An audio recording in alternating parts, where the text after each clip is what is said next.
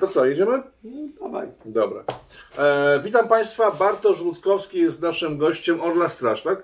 Tak. E, spotykamy się, gdyż e, mamy kłopoty z migrantami na granicy, a tutaj siedzi przed Państwem rozwiązanie tych kłopotów. Mało tego, że nie, to nie jest teoretyczne rozwiązanie, tylko praktyczne, gdyż czym się zajmujesz od dobrych paru lat?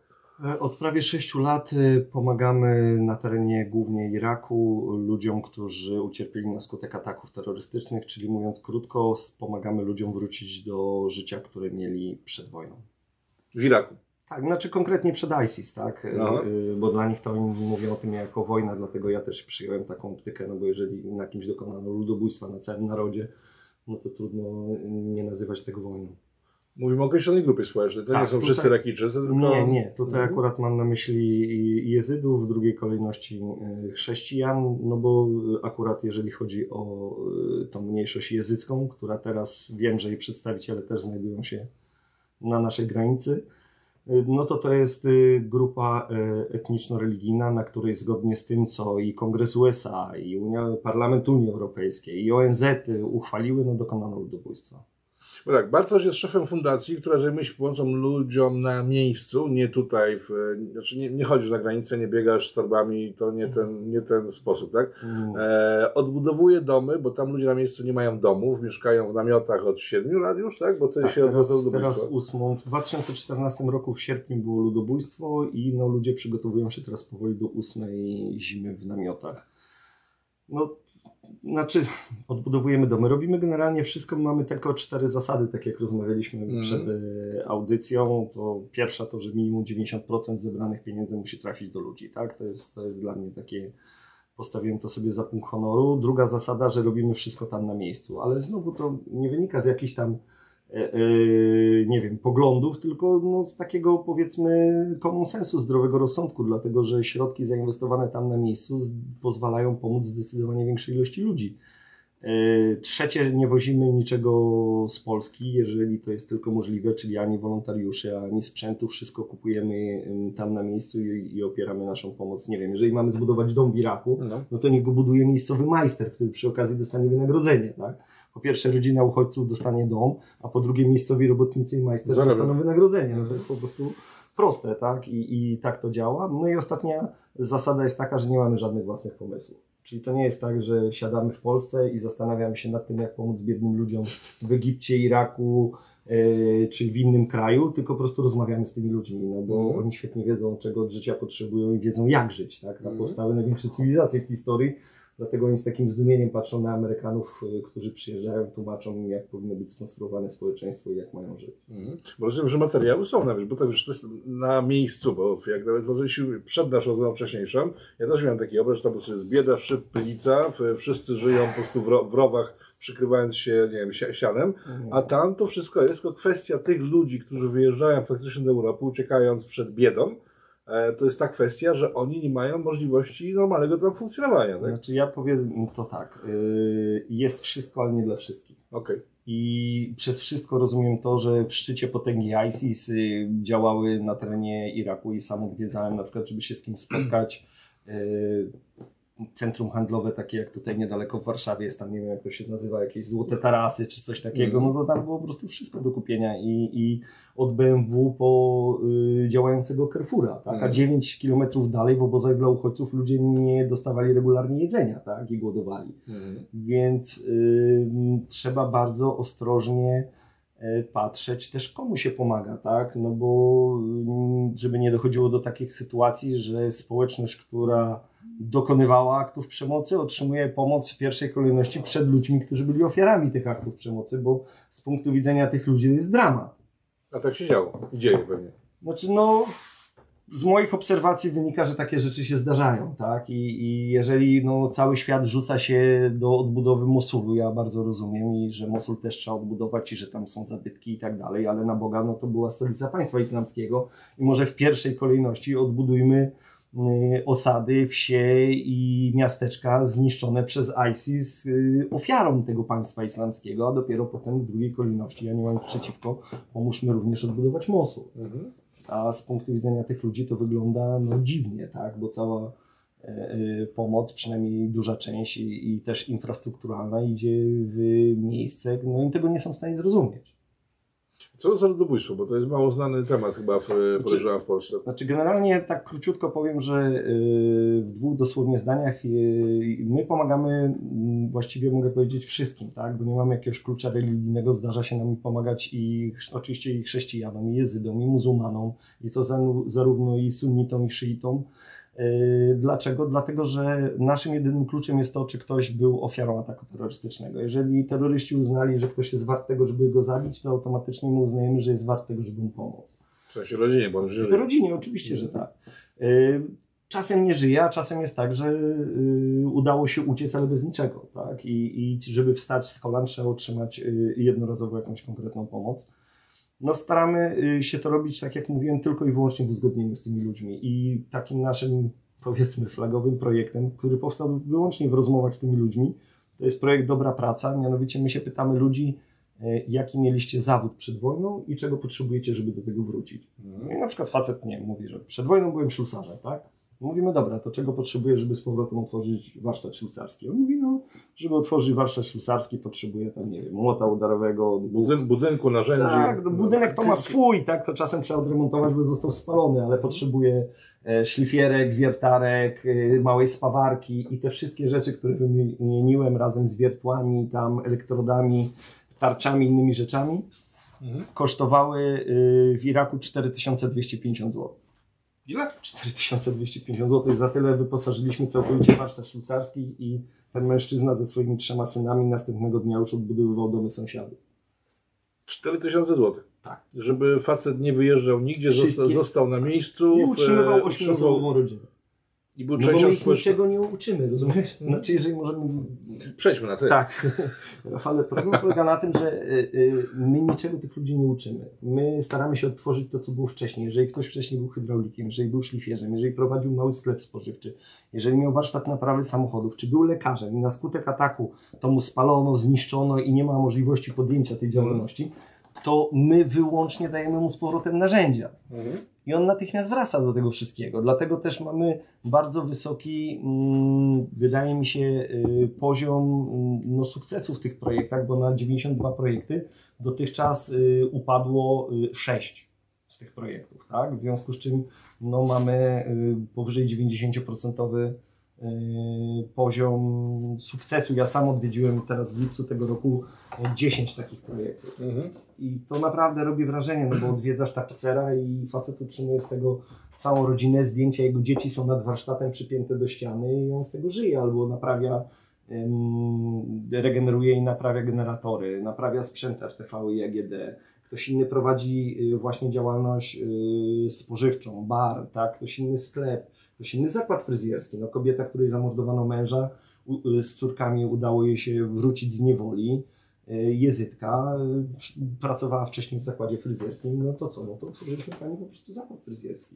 A co, mówisz, że to jest tak, że ci ludzie, którzy w tej chwili w dużej części, w jakiejś tam części, nie wiadomo w jakiej części, koczują na granicy z Polską, to są ludzie, którym jeżeli byśmy udzielili tak ty pomocy na miejscu, to oni by tam nie koczowali w tych krzakach. E, na pewno nie chcieliby w ten sposób y, przedostawać się do Europy Zachodniej, dlatego że oni są zdesperowani. Dwa czy trzy dni temu padły takie słowa, że wolę y, koczować na granicy, mężczyzna z jednej z tych rodzin powiedział, niż od 7 lat wegetować w obozie. Mhm. I to znaczy o tym, że jest na 90% jezydem, no bo w 2014 dokonano ludobójstwa i teraz pytanie, urodziło ci się wtedy małe dziecko, tak? Ono dzisiaj ma 7 lat, czyli dochodzi do wieku szkolnego. Ono już jest z tego pokolenia, które jedyne co pamięta to życie w obozie. I to, co ludzi zwykle popycha do, do decyzji, do ucieczki, to nawet nie jest chęć poprawienia własnego losu, tylko to, że nie widzą żadnej przyszłości dla swoich dzieci. Mhm. A jeżeli, no zobacz, teraz y, y, kobiety chcą wrócić, siedem rodzin chcą wrócić w góry z dziećmi mhm. do Sinjaru. Poprosili nas o pomoc i jak ja dostałem listę... Co... A skąd? Y, od nas czy tam? Nie, nie, na tam, miejscu. Miejscu. chcą wrócić w swój, tak, z mhm. obozów chcą wrócić do, do swojego miejsca zamieszkania. Mhm. Y, no i to są problemy typu, że jest dziura w ziemi, gdzie wcześniej było ujęcie wody i trzeba mm, naprawić studnię, tak, żeby działała, czy raczej pompę. E, proszą, żeby części tych kobiet odremontować, części wybudować domy, żeby po prostu miały gdzie mieszkać. y, no to koszt wybudowania takiego zupełnie nowego y, domu 42 metry kwadratowe, dwa pomieszczenia mieszkalne po 16 metrów, miejsce na kuchnię, łazienkę, toaletę, otynkowany, podłączony do prądu, drzwi, okna z PCV, to jest w chwili obecnej po tym jak podrożały kursy walut około 18 tysięcy złotych. Ilu? 18 tysięcy złotych, no myśmy już prawie 70 tych domów postawili. 18 tysięcy złotych, żeby Żeby ludzie zatrzymać, godnie żeby mieli zatrzymać gdzie... falę imigracji Znaczy, do Europy. do tego jeszcze muszą Mhm. mieć możliwość pracy, no to wszystkie te projekty z serii Dobra Praca to są projekty poniżej 10 tysięcy złotych. Ile kosztuje utrzymanie takiego innego imigranta w Europie, jak tutaj przyjedzie? Znaczy, te doświadczenia, które ja mam, to był rok 2016 czy 2017. Rozmawiałem wtedy z rodzinami i chrześcijańskimi, i muzułmańskimi w Niemczech. Mm, Siedmioosobowa rodzina, jak wtedy policzyliśmy, mm, tylko bo to był nie, nie tylko e, sam zasiłek, ale to były pieniądze, które na przykład dostawali na dofinansowanie dojazdów, nauki Mhm. języka, Mhm. Mieszkanie. e, mie- No wszystkie e, razem to była suma kilkunastu, nie chcę teraz skłamać, 12 czy 14 tysięcy złotych miesięcznie. Czyli jeżeli zainwestujemy w tych ludzi te nie wiem, 20 tysięcy złotych e, raz, to nie będzie trzeba wydawać. e, Znaczy, no za sumę 25 tysięcy złotych jesteśmy tam w stanie rodzinie y, zbudować dom i miejsce pracy, tak powiem. No okej. I oni z tego skorzystają. Znaczy, no wiele już skorzystało, a mamy dziesiątki czy setki, które czekają na taką możliwość. Tylko my mamy ograniczone możliwości, no u nas jest trzech facetów w Polsce, cała fundacja Mhm. czy trzy osoby, tak? Więc yy, no, tak działamy, jak, jak mamy możliwości. Był moment, kiedy nam rząd przez chwilę mm, pomógł, kiedy jeszcze istniał Departament Pomocy Humanitarnej. No po jego rozwiązaniu te możliwości się skończyły i tyle. Akurat w zeszłym tygodniu MSZ odrzucił nam mm, projekty pomocowe, między innymi w Iraku. No I Co to zostaje projekt? puszka. Mówisz o, o tej szko- szkole. Znaczy tak? nie, chcieliśmy tam, jest tam już jeden taki ośrodek, który działa dla dzieci sierot i półsierot i razem z tą fundacją, która prowadzi ten jeden, chcieliśmy stworzyć drugi taki ośrodek, też znowu dla około 400 dzieciaków. To naprawdę fajnie działa, bo dzieci po no, zupełnie dramatycznych przejściach mają możliwość i edukacji, i spotkania z psychologiem. To jest dla nich inny świat. Nie? Ja to już takich rzeczy, które są dla nas, w sensie dla mnie na przykład są nowością, bo to tak jak mówię, po prostu dziura w ziemi i tam po prostu ludzie, Nie. ludzie kończyli o tym mówisz o psychologach, o w, inżynierach, o ludziach, którzy po prostu są e, nie Rafał, ale to był normalnie działający kraj przed No. 2003 rokiem i to ludzie są tam, no nie wiem, jak ktoś był inżynierem przemysłu petrochemicznego, tak? No owszem, on teraz wegetuje w obozie, może inaczej. Projekt tych domów, które budujemy, yy, stworzył dla nas miejscowy inżynier Duckhill, który jest, ym, ukończył kierunek budownictwa cywilnego na odpowiedniku miejscowej Politechniki. Mhm. I myśmy go odwiedzili ym, z panią minister y, w ramach tam po, y, wizyty polskiego rządu. No on mieszka w obozie dla uchodźców. Z matką, żoną, trójką małych dzieci na 15 metrach kwadratowych w namiocie, w obozowisku. Facet mówiący perfekt po angielsku, z wyższym wykształceniem. Tam on już teraz znalazł pracę, pracuje dla większych fundacji, które tam robią większe projekty. Tylko to y, y, no, zaczynał y, z nami i dla niego nie jest problemem stworzenie projektu miejscowego. Dla, czy, czy to będzie zagroda, czy to będzie dom, czy to będzie on pracę mm, inżynieryjną bronił się z zaprojektowania y, dużej, y, dużej y, firmy zajmującej się recyklingiem śmieci. Mhm. Przed 2003, 2003. Tak, to była jego praca dyplomowa, nie? Y, jak kończył studia. No, Mhm. I ci ludzie tam są, więc dlatego mówię, my robimy wszystko w oparciu o miejscowych. Mhm. Czyli nic tam nie wozicie, uważacie na miejscowych? Powiedz mi jedną rzecz, bo ja ostatnio rozmawiałem z Jankiem Wójcikiem, ty widziałeś to nagranie. Tak. I tam zadałem pytanie, znaczy zrzuciłem taką tezę, że gdyby nie świat zachodni, to ci ludzie by dalej sobie funkcjonowali i nie byłoby fali imigracji, terroryzmu i tak dalej, tak? bo tam spokojnie sobie funkcjonowali. Jak to wyglądało wcześniej, zanim tam Zachód nie wkroczył z demokracją? Znaczy, no, jak wyglądało? No, wyglądało tak, że były systemy niedemokratyczne, no za to systemy, które nie pozwalały jednocześnie na rozwój ekstremizmu. No, to chyba nie jest dla nikogo żadnym Mhm. E, nie wiem, jakimś odkryciem, że 2003 rok, tak, mm, inwazja dokonana jakby nie było na podstawie całkowicie fałszywych przesłanek, no przecież Irak nie miał i nie posiadał żadnej broni ani biologicznej, ani chemicznej. Ani współpracował z Bin Ladenem. No dokładnie, w związku z czym y, y, dokonano tej inwazji na podstawie po prostu no, kłamliwych przesłanek, tak, Mhm. i zniszczono kraj. Ja, broń Boże, nie staję tutaj, żeby było jasne, w obronie Saddama Husseina, ale też no, rozmawiając z setkami Irakijczyków, w tym niektórymi Kurdami, na których Saddam Hussein dokonał ludobójstwa, tak? Mhm. To nawet ci ludzie potrafią wypowiedzieć, że no, teraz na pewno nie jest lepiej, tak? Mhm. to daje troszeczkę do myślenia, więc y, no, zniszczono kraj, przede wszystkim rozbito go y, wewnętrznie. Jedyną instytucję, która mogła go wtedy scalić, czyli armię. Przecież jak ja słyszę, że przez przypadek Amerykanie nieświadomi skutków rozwiązali, no nie się, nie wierzę w takie rzeczy. Tak? Ten kraj jest w chwili obecnej pod okupacją w dużej mierze, moim prywatnym zdaniem, amerykańsko-brytyjską, po tym co widziałem. No i życzę tylko Irakijczykom, żeby mogli w pełni stanąć na własnych nogach i żeby im wpływy państw ościennych oraz mocarstw globalnych w tym nie przeszkodziły. Tak? Mhm. Jak ta okupacja wygląda? Jaki jest stosunek Irakijczyków do, do okupantów? Znaczy ja Bo używam całkowicie świadomie, uśmiechem, tak? no, no to z tym przyjmowaniem uśmiechem to oczywiście też zależy gdzie i jak. Pamiętajmy, Mhm. że te przekazy medialne są dość specyficzne. Em, Tylko, że no, oni zachowują się tam jak we własnym kraju, co tu dużo mówiąc, bez okazywania szacunku obywatelom tego kraju. No sam fakt utrzymywania tyle lat tej zielonej strefy, to nie wiem, wyobraźcie sobie Państwo, że ktoś wyciąłby serce Warszawy, kilkanaście kilometrów kwadratowych, główne ulice, ciągi komunikacyjne i stworzyłby tam zamkniętą enklawę rządową plus właśnie dla państw koalicyjnych, dla ich ambasad i dla ich urzędów. No to Dla, dla VIP-ów generalnie. no tak, no z punktu widzenia przeciętnego mieszkańca Bagdadu oznacza to, że człowiek, który na przykład zawoził swoje dziecko 5 czy 10 minut do szkoły i odbierał, czy jechał do pracy, w chwili obecnej rano na przykład spędza półtorej czy dwie godziny w korku i w drugą stronę dokładnie to samo, no bo mówię, całe centrum komunikacyjne miasta jest wycięte. Dlatego no, to powoduje no, niechęć tak, do, do tego. Jednocześnie za tym poszły takie, a nie inne formy rządów, takie, a nie inne formy wspierania. Moim zdaniem, bo ludzie mówią nieprzemyślane, ja uważam, że przemyślane, tak, że takie rzeczy nie dzieją się przez przypadek. Ale co, celem była ropa?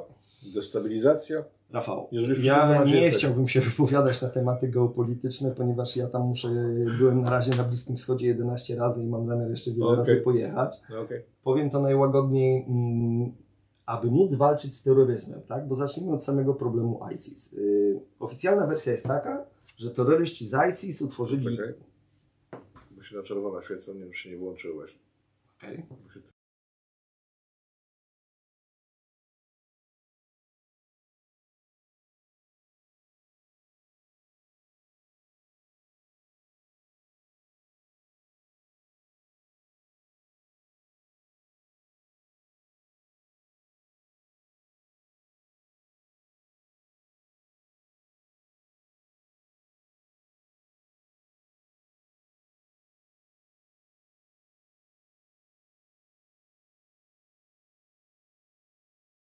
Stabilizacja kraju doprowadziła do tego, że na przykład gdzieś nie było wody, prądu, Bandyty edukacji, lekarza, nie było sądów, działającej administracji. Miałeś na No. przykład spór z sąsiadem i on przez 10 lat był nierozwiązywalny, tak? Mhm. No, a przyszło ISIS i w ciągu dwóch dni była woda, był prąd. Sąd szariacki, który rozwiązał w ciągu kolejnych kilku dni wszystkie y, zaległe sprawy sądowe. Ostatecznie. Szkoła koraniczna i nagle się okazywało, że wiesz, w porównaniu z tym, co było wcześniej, no jest dramat, ale wbrew pozorom mniejszy, tak? Mhm. Więc oni przynosili też na miastkę takiej państwowej administracji na te tereny, gdzie ogłaszali kalifat.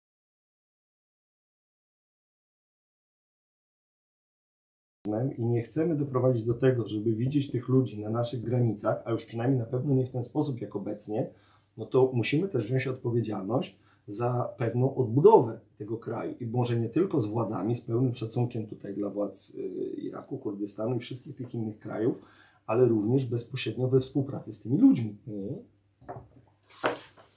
Co to są za ludzie? Bo to są bardzo różne przypadki. Mówiłeś No. o tym, o ślu- ślusarzu, ale też e, No, zanim... Ani, no tam ludzi każdego pokroju spotkaliśmy, tak? Ja, y, jedna taka moja uwaga, bo bardzo często się mówi, że to ISIS, y, to co mnie irytuje i też troszeczkę tak wybrzmiało w tej rozmowie, którą wspomniałeś wcześniejszej, czasem jest takie sugerowanie, że ludzie tam tacy są, Mhm. że tam są konflikty, że tam zawsze były konflikty. Mhm. Ja troszeczkę się interesuję historią. Jakbyśmy mieli takie podejście, no to Polska chyba nie jest najlepszym krajem podręcznikowym jako wskazywanie miejsca na ziemi, w którym nie ma konfliktów dość regularnie, prawda? to raczej jest wyjątkiem, że od kilkudziesięciu lat nikt nie przemaszerował przez ten kraj, a nie regułą. Mhm. I dokładnie tak jest na Bliskim Wschodzie. Ze względu na interesy geostrategiczne jest on w zakresie zainteresowań potęg i regionalnych, i światowych, dlatego są tam niepokoje, tak? Mhm. A nie dlatego, że ludzie mają jakiś wyjątkowy charakter, że budzą się rano i chcą się mordować. Moim prywatnym zdaniem, po tym co widziałem, to takie rzeczy, nawet jak religia czy inne, są po prostu używane jako narzędzie Mhm. do tego, żeby doprowadzić do konfliktów, tak? Tak samo jak, przepraszam za to, co powiem, i tu może się wiele osób ze mną nie zgodzić, ja prywatnie uważam, że ISIS nigdy nie było żadnym problemem wojskowym. To był problem polityczny. Co ISIS, no mam na myśli to, że ISIS można było zdławić zdecydowanie wcześniej. To czemu pozwolono tak, tak długo mu funkcjonować? Mm, No bo wtedy można było walczyć z terroryzmem, a w imię walki z terroryzmem zarówno potęgi lokalne, jak i e, geopolityczne, jak i potęgi światowe budowały tam bazy wojskowe na terenie niepodległych państw, takich jak Syria Irak. Bez ich zgody budowano bazy wojskowe, część z nich istnieje do dzisiaj. Mhm. No, gdyby nie było biednych terrorystów no to nie, i tej krucjaty i walki z nimi, no to nie byłoby takich możliwości, prawda? Czy co, że to było pompowane przez zachodnie rządy, żeby zyskać na tym możliwość e, kontrolowania terenu? Że te wszystkie filmy pokazujące, czy ISIS sama je produkowała, tak? Ale te wszystkie filmy kolportowane masowo w zachodnich mediach to de facto Znaczy, były inaczej. tak dobrze zrobione, bo faktycznie tam te filmy tworzyli specjaliści z zachodu, tak, którzy nie uciekli tam do ISIS i tam tworzyli w, e, propagandę. Ja To- może powiem dwie rzeczy, które, o których No. y, jedną widziałem na własne oczy. Tak? No, ISIS był ogromnym problemem wojskowym, nie można go było pokonać. Y, Kiedy w końcu y, dano zielone światło, y, i to nie była decyzja Irakijczyków, tylko państw, które mają ogromne wpływy w Iraku, żeby ruszyła ofensywa na Mosul w październiku 2016 roku. Ja tam wtedy przebywałem. W ciągu pięciu dni ofensywy odbito 66 miejscowości z rąk ISIS. Pięciu dni. Tak, 5 dni, nie było żadnego oporu. To można było zrobić wcześniej. A co, wycofali się, było ich tak mało, byli tak słabi? Możesz odizolować no, sama specyfika terenu, tak, gdzie są walki, czyli pojedyncze miejscowości. Mówimy o ludziach uzbrojonych w lekką broń piechoty, e, którym jesteś w stanie zakłócić łączność, którzy nie dysponują rozpoznaniem, gdzie ty jesteś w stanie wyizolować ich punkt po punkcie i dysponować całkowitą przewagą w wojsku, tak, e, rozpoznaniu, sile ognia w danych punktach, punkt po punkcie. No i tak zrobiono, tylko że no, moim prywatnym zdaniem można to było zrobić również dużo wcześniej, ale nie było zgody politycznej na to. Nie wspomniałem chyba o tym, bo teraz część powie tak, ha, ha, ha, Mondrala, e, mówimy z, z wojskowym, tak? Jesteś Znaczy, żołnierzem. nie, no tak, ale ja byłem y, akurat nigdy, y, życie mi się tak ułożyło, że nigdy nie byłem na żadnej misji i szanuję moich kolegów, którzy byli na misjach i w Iraku i w Afganistanie. Nie podważam tutaj ich Mhm. y, wysiłku, tylko no skutek tego, przynajmniej to, co ja widzę mm, na terenie Iraku, dla tych ludzi jest bardzo często dramatyczny, tak? E, mówiąc o ludobójstwie, teraz rozumiem, nie miałeś na myśli ludobójstwa określonej grupy społecznej, tylko wszystkich tych ludzi, którzy w wyniku tych działań e, operacyjnych, wojennych, e, propagandowych na terenie po prostu stracili, nie wiem, rodziny, No tak, ale, domy ale i tak dalej. stricte pod względem, pod względem takim definicji, tak? Tutaj no to ludobójstwa dokonano na jezydach, tak? No, Czyli Y, Nie. Nie? Jezydzi są y, y, religią monoteistyczną, ale to nie są chrześcijanie. Y, Oni y, sami określają się jako religia starsza od y, chrześcijaństwa. Ciekawostka jest taka, że kiedy ponad 100 lat temu y, na terenie obecnej y, Turcji i Iraku y, mordowano y, zarówno Ormian, jak i Asyryjczyków. Jedyną grupą etniczną, która wtedy ratowała chrześcijan, y, byli Jezydzi. Oni uratowali wtedy ponad 20 tysięcy ludzi.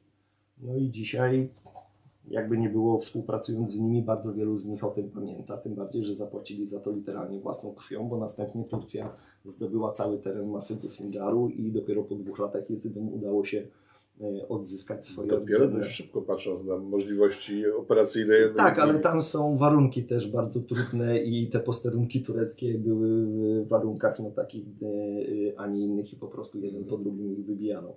Na przykład z rzezi Ormian warto wspomnieć, że Kurdowie byli wykonawcami tych poleceń Znaczy, no, w dużej też, mierze. No. Też yy, były inny na pewno poziom ich świadomości. Mówimy tutaj o sytuacji, kiedy mamy mm, świadomość na poziomie plemiennym, tak? Mhm. Yy, I oczywiście yy, różne rzeczy się yy, tam działy. No ja w chwili obecnej mówię, interesuję się historią, patrzę na to, co jest teraz, tak? No bo Mhm. też patrzenie tylko i wyłącznie w setki lat historii wstecz na Bliskim Wschodzie, jak i szczerze mówiąc i u nas w Europie, tak? No nie doprowadzi nas na dłuższą metę do niczego, no bo w ten sposób, nie wiem, nie weszlibyśmy do Unii Europejskiej, bo w niej wiodącą rolę mają Niemcy, tak? A Niemcy przecież. Yy, No i dokładnie tak samo jest na Bliskim Wschodzie, tak? Ludzie bardziej patrzą na wspólną przyszłość, bo jeżeli zaczną rozgrzebywać tylko i wyłącznie przeszłość, to nigdy do niczego nie dojdą. Zresztą oni są tego świadomi w większości. Mhm. Wracając do pomocy tym ludziom, e, powiedziałeś o domach za górę 20 tysięcy. Które- No, w chwili obecnej 18 tysięcy No złotych. to liczmy, że 20 tysięcy dom, dom, domek kosztuje. który- Miejsca pracy poniżej 10 tysięcy złotych na rodzinę. Czyli za trzy dychy można zbudować ludziom przyszłość. Za mniej. No. Za się- 20 bo to się- kilka tysięcy można No, zbudować rodzinie dom i można do tego domu, jeżeli tylko jest taka możliwość, odbudować miejsce pracy. My tam też pomagamy ro- rolnikom, no bo duża część akurat jezydów to byli pasterze i oni przed wojną zajmowali się na przykład y, hodowlą mm, zwierząt, no więc myśmy im odkupowali taki zestaw startowy, jak to mówimy w fundacji, czyli cztery owce lub koz, y, kozę lub owce, do tego cztery kury, do tego małe zabudowania, takie zagrodę zadaszoną z wybiegiem i paszy na 4 miesiące. Ile to kosztowało? To kosztowało 8 tysięcy złotych, jeden taki pakiet na rodzinę. Jeszcze raz? 8, no 8 tysięcy złotych. Ale nie, ale... No ale to tyle kosztuje, tak? No, no, moment. Bierzemy 8 tysięcy złotych, tak? No i rolnik, który się tym zajmował przed wojną, dalej ma możliwość zajmowania się i co więcej, jeżeli to naprawdę umie, to nie jest tak, że niczego, bo też myśmy wtedy robili to jako projekt, część tych rodzin na przykład sprzedała część tych zwierząt, tak? Mhm. Mieliśmy sytuację pana, któremu najlepiej to poszło, on rozmnożył to stado do 10 Mhm. zwierząt, potem bardzo ciężko zachorował i wyprzedał zwierzęta, dzięki czemu miał dostęp do opieki lekarskiej i Mhm. przeżył. Mhm. No, gdyby nie miał tego kapitału i nie dołożył do tego swojej kilkuletniej pracy, to najzwyczajniej w świecie byłby teraz martwe jego dzieci sierotami. Tak? Mhm. Mhm. E, W związku z tym to też chodziło o to, żeby wpompować w tych ludzi pewien kapitał, Mhm. który oni umieją wykorzystać. No bo to jest dla nich naturalna działalność. No nie uczmy tych ludzi. Ja widzę na przykład, oczywiście to pewnie też jest potrzebne, ale tam my bardzo się staramy stworzyć tam zachód. W takim rozumieniu, że dla kobiet, które na przykład mają kłopoty, że w dużej mierze są analfabetkami, tworzy się kursy komputerowe. Tak? Mhm.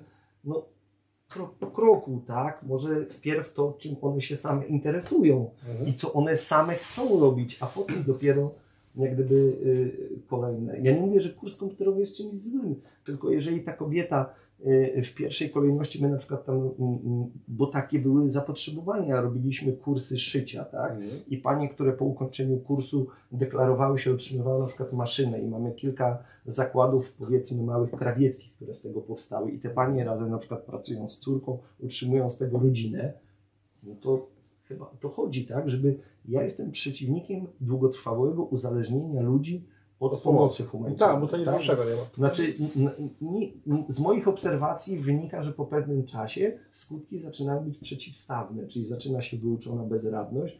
Ludzie, którzy mają naturalną chęć podejmowania pracy, ży- godnego życia na co dzień, no, są z tego odzierani za grosze, bo na przykład ktoś daje rodzinie 23 dolary na członka rodziny i ludzie po paru latach Nie na muszą nie chcą opuścić obozu, bo się boją, bo nie wiedzą, co będzie poza obozem, a tutaj mają tę minimalną Nawet, nawet, że nie to, że tak? nie, nie muszą się starać, tylko nie potrafią po prostu. w pewnym No dlatego tak? określiłem, użyłem określenia wyuczona bezradność. Mhm. Ludzie, którzy wcześniej mieli zawód, byli pełni inicjatywy, gotowi do podjęcia ryzyka, do podjęcia próby powrócenia.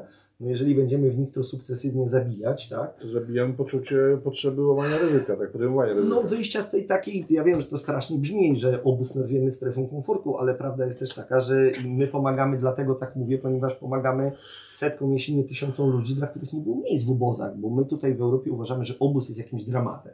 Obóz rządowy w porównaniu do tego, że ktoś mieszka za wsią na łące w domu z dykty albo na przykład zszytym z worków po ym, na przykład mące, no to ten obóz rządowy jawi się jako Raj. no może nie raj, ale miejsce stabilizacji dużo lepsze niż to, w którym on od lat przebywa, tak? No przecież tak, teraz, teraz stoi książka o Grzesiu, tak, Grzesiu, który mówił, e, kiedyś siedział w obozie koncentracyjnym, że no, w obozie było słabo, ale dostanie się do lazaretu w tym obozie, w którym też było słabo, Mhm. ale jednak e, trochę wyższe tak. warunki, No, ratowało czytałem ratowało życie. No. i, i, i no, też jego specyficzne podejście, które uratowało mu życie.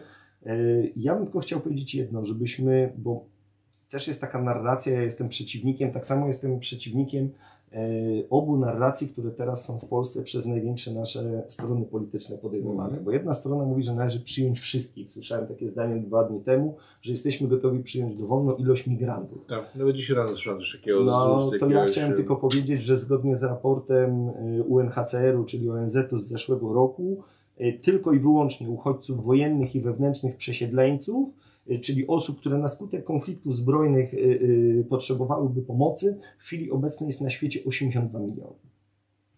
Przyjmiemy wszystkich? Będziemy dokonywać segregacji na granicy? W jaki sposób? To jest pierwsza rzecz, więc to jest po prostu nieprawda. Co więcej, jeżeli ogłosimy coś takiego, co przecież Niemcy kiedyś powiedziały tak, witamy wszystkich, Tak. doprowadzimy do tego, że bardzo dużo tych ludzi w akcie z rozpaczy podejmie tą drogę i proszę Państwa, nie wszyscy ją skończą. Część tych dzieci zostanie porwanych po drodze i skończy w domach dziecka.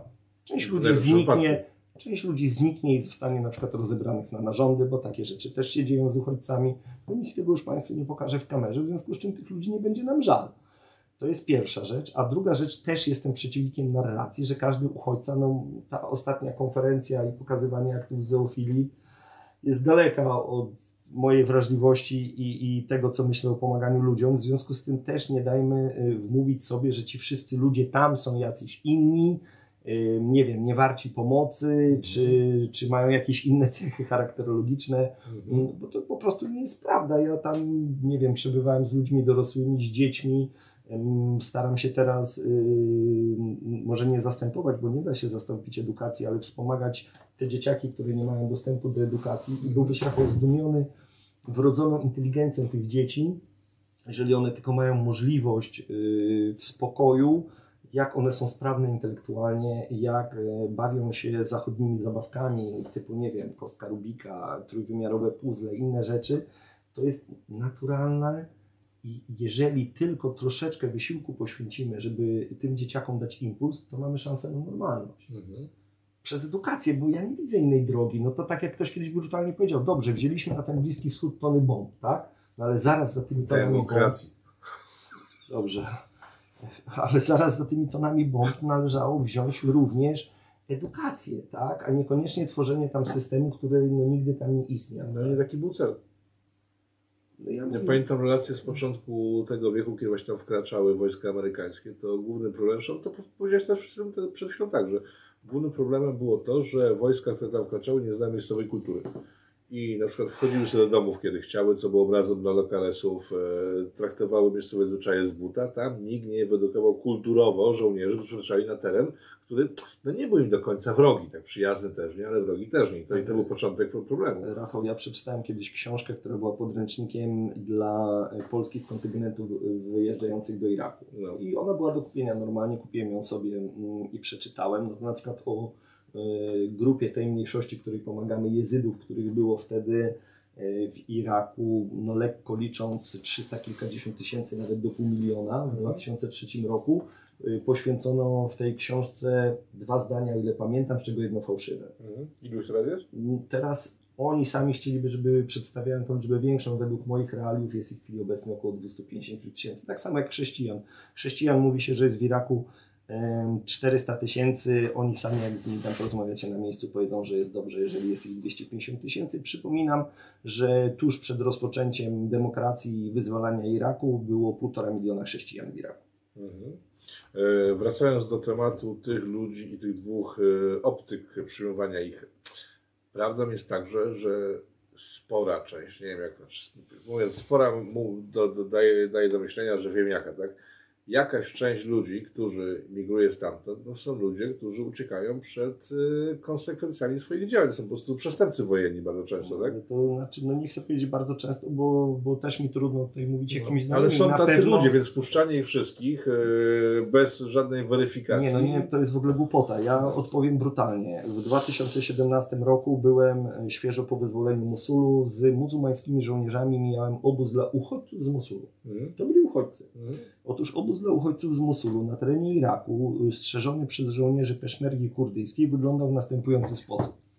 Drut kolczasty skierowany do środka obozu, wieżyczki strażnicze jak w obozie koncentracyjnym i karabiny maszyn- maszynowe PK rosyjskie wycelowane w obóz. Mhm. Ja byłem zszokowany, rozmawiałem z tymi żołnierzami. Mówię, słuchajcie, no przecież to są uchodźcy z Mosulu. Mhm. A.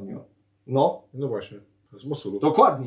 Tam, gdzie była stolica państwa islamskiego i dopóki rodzina po rodzinie nie zostaną poddani dokładnej weryfikacji, no to tam na pewno są terroryści, tam na pewno są ludzie, którzy e, w każdej chwili są w stanie chwycić za broń i dalej nas mordować, w związku z czym no, jest Tak. jak jest, tak?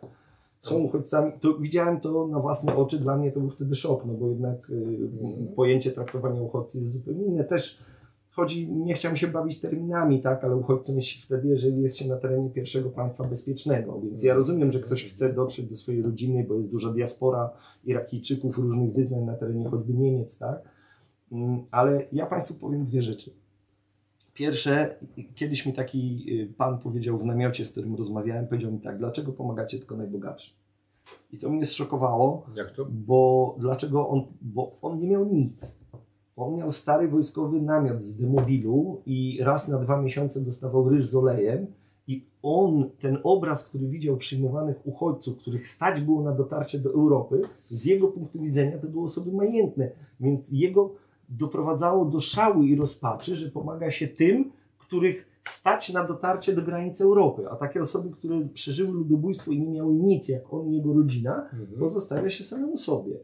To jest y, y, jedna y, rzecz. A druga rzecz, rozmawiałem z mężczyzną, który widział swojego sąsiada, który osobiście podpalił mu dom, y, no jako uchodźcę w Niemczech. Tak? I to też, proszę Państwa, troszeczkę zmienia optykę, bo ja wyjeżdżałem tam w roku 2016, w lutym, y, jako osoba z nastawieniem takim, miałem, starałem się mieć jak najbardziej otwartą głowę i myślę, że do dzisiaj jeżeli chodzi o, o rozmowy ze wszystkimi religiami, wszystkimi kulturami, staram się tego trzymać, ale y, no, ktoś był ofiarą, a ktoś był katem i też dokładne, no, Stany Zjednoczone weryfikują po dwa lata rodzinnym kogoś wpuszczą, Australia po cztery lata, tak? Potrafi odesłać po tym terminie się No, okaże, oczywiście, to... że tak. Więc jak ja słyszę, też że mamy bez weryfikacji wpuścić wszystkich, no nie, proszę Państwa, jestem obywatelem państwa polskiego, mam tutaj żonę i dwójkę dzieci i jestem, pomimo, że jestem całym sercem za pomocą uchodźcom i przede wszystkim y, ofiarom y, wojny i ludobójstwa, w tym w głównej mierze kobietom i dzieciom, to jestem przeciwnikiem, żeby robić to w sposób niezorganizowany i bez weryfikacji. I przed naszym nagraniem e, wspomniałeś, w sensie wspomniałeś, to była szeroka historia dziewczyny, która, której pomagacie na miejscu, która w wieku 17 lat została porwana przez ISIS. e, Była przez- trzymana w klatce, wykorzystywana seksualnie tak, i straciła jednopłcą. Mhm. Ale to jest o tyle ciekawa historia, że. Teraz jest pod waszą opieką. Znaczy, ona już na szczęście nie jest pod naszą Okej. opieką. Ona dostała od nas wsparcie razem z siostrą dotyczące jej zamieszkania, i ubioru, i wyżywienia i tak dalej. Po czym, jak chcieliśmy dać kolejną ratę wsparcia, to proszę sobie wyobrazić, że ona odmówiła. Bo powiedziała, że ona już żyje z rodziną, już jest wszystko ok i żebyśmy przeznaczyli te pieniądze na pomoc komuś innemu. Okej. To w ogóle nam się tam zdarzyło parukrotnie, bo obraz w Europie jest taki, że uchodźca to jest ktoś, kto Studnia bez dna. tak, przychodzi tutaj i prosi o wsparcie i należy go mu latami udzielać, a my tam mamy takie sytuacje, że na przykład rodzina przed wojną prowadziła biznes związany z żywnością. Mhm. Poprosili nas o otwarcie baru sałatkowego. Mhm. Myśmy ten bar sałatkowy za tam sumę Tyle, szeroko, ślusarze, bary sałatkowe. no, jaki kto miał zamysł? Jak Fast już foody. budowujemy? No tak, dosłownie. Oni, oni z makaronu, warzyw i mięsa robili mm, ludziom idącym rano do pracy sałatki zamykane w pojemniki plastikowe. Mhm. Tak? I ladę chłodniczą myśmy im wyremontowali, spalone pomieszczenie i tak dalej. Ile to kosztowało? Nie chcę teraz skłamać, o ile dobrze pamiętam, to była suma w granicach 1,5 tysiąca dolarów, czyli wtedy po kursie dolara to było około 6 tysięcy złotych. Żartujesz. Nie, i oni, ale problem jest czym innym. Oni po trochę ponad roku, ile pamiętam, z, z nami się skontaktowali i zapytali się, czy mogą go zamknąć. Więc my po pierwsze nie mieli takiego obowiązku, ale Mhm. skontaktowali się z nami No. i my mówimy, no dobrze, co się stało? Mówią, no zarobiliśmy już tyle pieniędzy, że chcielibyśmy otworzyć firmę coś cateringową, nie No. większą. No, no, no. I mówimy, nie, no to w tej sytuacji oczywiście, tak? Oni po prostu sprzedali to wszystko. Ten mężczyzna od tego czasu dwukrotnie odwiedził nas, wpłacając tam w Iraku do naszych wolontariuszy sumy po kilkaset dolarów. Co jest duże na te warunki. No tak, tak. To tak jakby wpłacił na przykład miesięczną czy półtora miesięczną pensję. Okej. Żeby komuś innemu pomóc, bo oni już Ja, pytam, żyją, wyremontowali dom, odbudowali firmę. ja nie bez powodu cały czas pytam o sumy, bo te sumy pokazują, za jak niewielkie pieniądze można pomóc im i sobie, tak? Bo jeżeli pomożemy tym ludziom, to pomożemy sobie, bo nie będą tutaj przyjeżdżać, tak? Rafał, my mamy teraz do odbudowania szkołę w takiej wsi, która została zniszczona. Myśmy w tej wsi też odbudowali już kilkanaście domów. Koszt odbudowy y, szkoły, czyli tak naprawdę jednego pomieszczenia z y, klasy z małym pomieszczeniem dla nauczyciela i toaletami, to jest koszt poniżej 300 tysięcy złotych. Około 300 tysięcy. Ile w tej szkole się będzie dzieci kształcić? Kilkadziesiąt dzieciaków z tej wsi. I teraz problem znowu jest, jest odbudowywana szkoła No. z dużych projektów humanitarnych, ale w odległości kilkunastu kilometrów od nich. One nigdy do mnie nie dotrą. No tam też są potrzebujący czy nie? Nie, no tak, czy tylko tam jest- rozumiesz, że to się robi w ten sposób, że projekty nie mogą być za małe. W związku z tym robi się projekt, że odbudowujemy szkołę dla kilkuset dzieci, bo jest jakiś rejon, a nie patrzymy na to, że te dzieci nie mają w górach możliwości dotarcia do tej szkoły. Ich nikt Rafał nie podwiezie, ponieważ ich rodzice nie mają samochodu, nie działa komunikacja y, y, publiczna, tak? One po Mhm. prostu dla nich ta szkoła, która jest, nie wiem, 15 km dalej, ona po prostu może nie istnieje. Mhm. No nikt nie pójdzie, nie puści dziecka przez góry 4 godziny marszu w jedną stronę. Ile ta szkoła ma kosztować? 30 tysięcy złotych. Mamy 15 zbiórkę teraz osób, założoną. 15 osób, tak? Będzie tam uczone. Nie więcej, tam będzie kilkadziesiąt dzieciaków, tam już jest nawet nauczyciel, który uczył przed wojną. On też jest gotowy do nauczania, tak? A, wiesz co, to ja powiem tak. Wyświetlę w tej chwili numer konta, na który Państwo musicie wpłacić pieniądze na tą szkołę, tak? Bo domy to jest masa, masa domów, to będzie trudno, bo z ogarnąć, bo to są jakieś ten... Znaczy generalnie, Trzeba w, budować krok po wyświetlę, kroku, tak? widzą Państwo teraz numer konta, będzie w opisie filmu, gdzie można wpłacać pieniądze, które trafią do Orlej Straży, e, za które te pieniądze powstanie tam pomoc na miejscu. W, To mogę zagwarantować No. w 110%. Jeżeli, jeżeli, jeżeli słuch- słuchacie nas, uważacie, że to, co tutaj w, jest przedstawiane, e, ma sens, a ma sens moim zdaniem, to w tym, w tym tygodniu nie robię innego, tylko w, zbieram, zbieram na, ten, na, na Orlą Straż. Znaczy, ja korzystając z tego, że y, udało mi się tu trafić, miałbym jedną prośbę. No. Żebyście Państwo nie wierzyli nikomu tylko i wyłącznie na podstawie tego, że jest w środkach masowego przekazu. Błagam, zweryfikujcie to, co To- ja powiedziałem. no tak? tak. Poszukajcie materiałów, skontaktujcie się z kimś. Są media społecznościowe. Można dotrzeć do ludzi, którzy tam mieszkają. Kupiony z wyprzedzeniem bilet do Kurdystanu i z powrotem to jest koszt rzędu 2000 zł. Naprawdę można samemu sobie sprawdzić to, co się tam dzieje i wyrobić własną opinię. Znaczy, myślę, że większość widzów nie pojedzie do Kurdystanu. Znaczy, ja tylko mówię, że są takie możliwości, bo no, nie wszystko, co Państwo widzicie w środkach masowego przekazu, a szczerze mówiąc, ogromna część tego, no powiedzmy, że nie jest w pełni prawdziwym odzwierciedleniem sytuacji w tych krajach. Mhm. Tak, już chyba bardziej łagodnie tego nie mogę powiedzieć. Dobrze, e, kiedy budujecie dom, on kosztuje 20 tysięcy. Kiedy jakaś rządowa fundacja buduje ten dom, ile on kosztuje? Nie chcę się wypowiadać Okej, o innych dobra. fundacjach, ani polskich, ani zagranicznych. Dobrze, Ja w porządku. za Orlą Straż można mnie rozliczać 24 godziny na dobę. Mhm. Tak to wygląda. I jeszcze jedna prośba, proszę Państwa. Y, Czasem mówimy, że tutaj mm, przyjmiemy wszystkich. Proszę mi uwierzyć, z moich obserwacji wynika, że w pierwszej kolejności nie trafiają ludzie najbiedniejsi i w pierwszej kolejności ci, którzy potrzebują pomocy, tylko trafiają ludzie najlepiej wykształceni, znający język i też dysponujący pewnymi środkami finansowymi. I tych ludzi tam potem w tych krajach brakuje. Trudno jest odbudować linię elektryczną, jak nie ma inżyniera, bo wyjechał do kraju zachodniego. Trudno jest odbudować szkołę, jeżeli nie ma dyrektora czy nauczycieli. Trudno jest leczyć dzieciaki, jak nie ma lekarza. My się chwalimy, że tych ludzi przyjmujemy do Europy, ale tak naprawdę to doprowadzamy do dramatu w tych krajach. Bo ta warstwa wykształcona, technokratyczna, ludzie w najgorszej sytuacji, najbiedniejsi tutaj nie przyjadą, bo nie będą mieli jak. Więc zastanówmy się też nad długofalowymi skutkami tej naszej działalności. Niektóre państwa zachodnie budują szkoły wyższe, uniwersytety na terenie Iraku. Jest możliwość uczęszczania do nich przez uchodźców. Ci, którzy mają najlepsze wyniki, co się z nimi dzieje? Są ściągani do Europy. Znają język, są wykształceni. Czyli co, kształceni są na miejscu specjaliści w różnych dziedzinach, inżynierowie, lekarze, ci słynni inżynierowie, lekarze. O lekarzach nie, ale inżynierowie poznałem niedawno uchodźcę jezyckiego, dwudziestoparoletniego chłopaka, który właśnie w szkole prowadzonej przez Niemcy na terenie Iraku y, skończył pracę magisterską z astrofizyki. I dostał oczywiście ofertę wyjazdu i pracy w Niemczech. Iraku, astrofizyk. Tak, uchodźca. Bardzo zdolny młody człowiek, tylko on powinien mieć możliwość pracowania na rzecz swojej społeczności godnie na miejscu. No też, ale to Zachód mówi, to jest e, przykład, taki program o Mozambiku robiłem z, e, z Janem Wójcikiem. E, Oni tam korzystając z zasobów Mozambiku, e, Zachód, Portugalii dokładnie, e, mówi, że nie ma miejscowych specjalistów, więc muszą ściągać własnych, w związku z tym miejscowi żyją w biedzie, ale jak rozumiem, pewnie kształcą tych co bardziej wybitnych miejscowych specjalistów i później ich zabierają. Ja tak? tylko mówię o rzeczach, które widziałem na no, własne okay. Ale nie wiem, szukam schematu, bo- wiesz, wiesz co. Bo powiem tak, ten chłopak, y, dotychczas znam go bardzo dobrze, bo w naszym takim centrum, gdzie pod naszą opieką jest ponad setka dzieciaków w górach, w największym dzikim obozowisku Sardaszti, Mhm. Y, on uczył dzieciaki, miał z nimi zajęcia komputerowe, miał z nimi naukę matematyki, opiekował się tymi dziećmi dodatkowo. Tak? Już go nie ma tam. No, z tego co mi mówił, to w tym miesiącu powinien trafić do Niemiec. Tak? I on już z tymi dzieciakami tych zajęć prowadzić nie będzie. Czyli patroszymy tamten teren z umysłów, które mogłyby go podnieść e, z kolan. Przynajmniej z kolan, jeśli nie na nogi.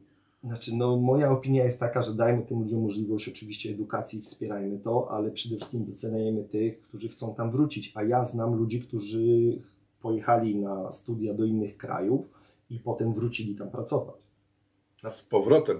Tak, tak. Mimo, że Znam mieli- rodziny, które wróciły na przykład z Francji. Dwa lata miały status uchodźców, mieszkały we Francji. Po dwóch latach i zobaczeniu, jak wygląda życie w Republice Francuskiej, e, rodziny wróciły z powrotem do Iraku. No właśnie, jakie były powody? Bo było już tak dobrze, prostu tak się, tak się w, Nie. obłowiły, że To, co zobaczyły we Francji, spowodowało, że nie chciały, żeby te ich dzieci tam po prostu się edukowały i miały tam swoją dalszą przyszłość. No bezpieczniej czuli się i lepiej w Iraku niż, niż we Francji. Moment, moment.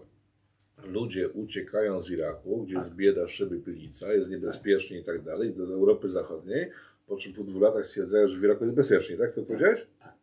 No ale ja z tymi ludźmi rozmawiałem, także to, jeżeli ktoś mi nie wierzy, to mogę go skontaktować. No, zaczęło się od tego, że dziewczynka zaczęła płynnie rozmawiać z moją wolontariuszką w języku francuskim, stąd nas to zaciekawiło. No i się okazało, że rodzina niedawno wróciła z Francji. No Mhm. jak wróciliście? No mieliśmy status uchodźców. I, no i wróciliśmy po dwóch latach. No, Bo, bo tam było bardziej niebezpiecznie niż... no w ich ocenie życie tam, ich dzieci i rozwój byłoby gorsze niż y, dla ich głównie, bo ludzie patrzą przez pryzmat dzieci, tak? Mhm. Niż na terenie Iraku. I wrócili dwie rodziny.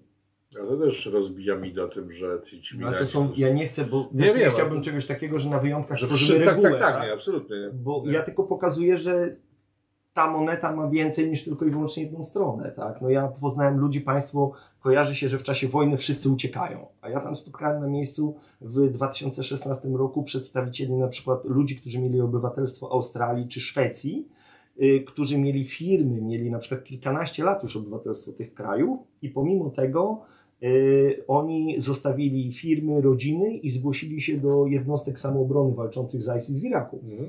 Przyjechali do Iraku, ryzykując tym, że zostaną pozbawieni obywatelstwa wszelkiego i ten, żeby bronić swoich rodzinnych wsi, tam gdzie mieszkali ich rodzice, bliscy. Tak. Mhm. No to też jest raczej historia, której w mediach się nie spotyka. Tak. Dużo jest takich rzeczy i, i dlatego mówię, zachęcam do tego, żeby zainteresować się tym regionem i szukać własnych źródeł, bo no, jak najistotniejsze jest to, żeby... Znaczy ja o tym zawsze mówię, robię wiadomości piątkowe, że po prostu weryfikujcie. Ja mogę się pomylić, albo po prostu mieć słaby No dzień. ja też dzisiaj się mogłem, No. proszę Państwa, jesteśmy tylko ludźmi, staramy się jak najlepiej, ale y, y, ja zawsze liczę na to, na, y, Polacy są naprawdę inteligentnym narodem i przede wszystkim pomagającym y, i bardzo chętnym do pomocy. Jak słyszę czasem argument, że Polacy nie chcą pomagać, tam są ksenofobiczni, proszę Państwa, ja żebrze z puszką w ręku na terenie całej Polski, więc myślę, że z czystym sumieniem, po ponad setce zbiórek mogę coś o tym powiedzieć. Nie, nie jesteśmy. E, Chcemy pomagać, tylko chcemy mieć pewność, że ta pomoc trafia faktycznie do potrzebujących i, i że po prostu jest to efektywne. Tak? Mhm. Jak już gdzieś docieramy do ludzi, to, to ludzie e, reagują na tą naszą obecność i na to, co robimy naprawdę bardzo pozytywnie. Okej. Coś możemy dodać jeszcze dzisiaj, czy to na razie chyba wyczerpuje temat?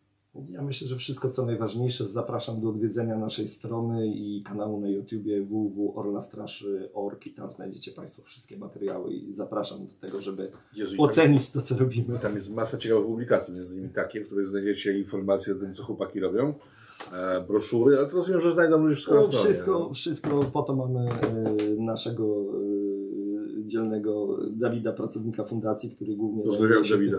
Tak, pozdrawiamy Dawida i Darka, który jest fundamentem, z kolei też emerytowany wojskowy, który prowadzi biuro i zawsze jest, e, No. a bez niego no, nie dałoby się prowadzić. No to- nas jest trzech. W tym, w tym, człowiek, który, w tym człowiek, którego poznałeś na, na miejscu. Y, Tak, no Dawid y, był ochotnikiem samoobrony chrześcijańskiej, który walczył pod Mosulem przez kilka miesięcy po tym, jak zobaczył materiały o spaleniu mm, dziewczyn jazyckich, które odmówiły dalszego gwałcenia i zostały spalone w Mosulu.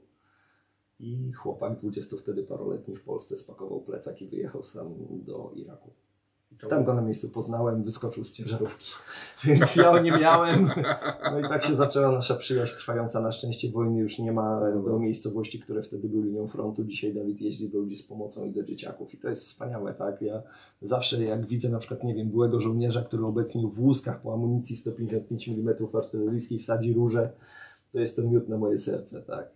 Można żyć po wojnie i ci ludzie są pełni godności, wiedzą jak żyć, chcą i bardzo dużo z nich nie chce nigdzie uciekać, proszę Państwa, i pomóżmy im w tym.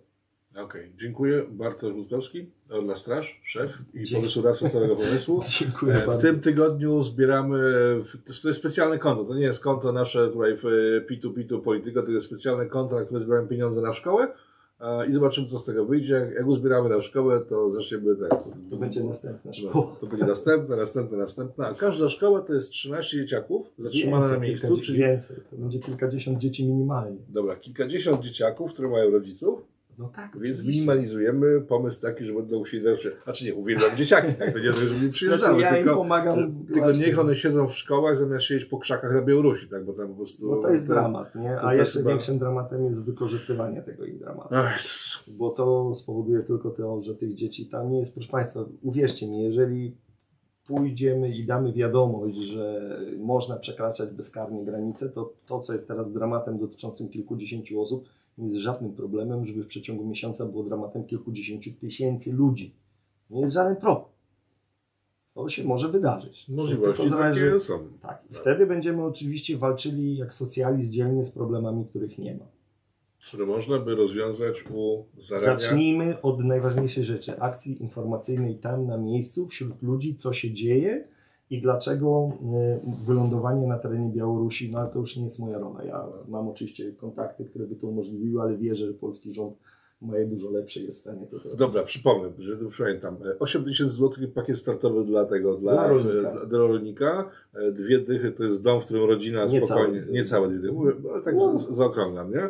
A kolejna dycha to jest 10. warsztat. No, od 3000 do 10 tysięcy to jest miejsce pracy dla rodziny.